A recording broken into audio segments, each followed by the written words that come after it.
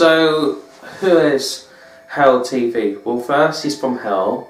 Second, he's a bigger version of Yegs TV but doesn't have many qualities. And thirdly, well, he's a father who scares people.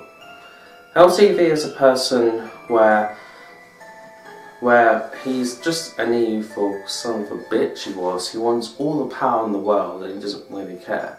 His main enemies are Adam, the Alice SNC family, and also Yegs TV and Kuska. I think that, that Hell TV's biggest enemies are um, myself, Yags TV, Quizcat, and John the SWAT of the of Strange Things things.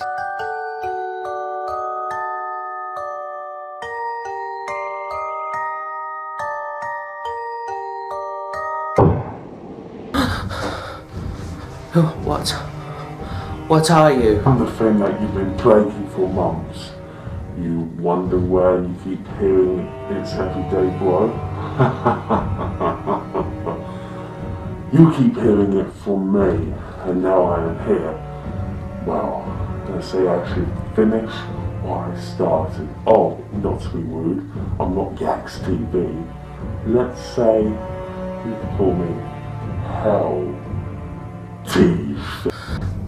so yeah, I could pretty much say that.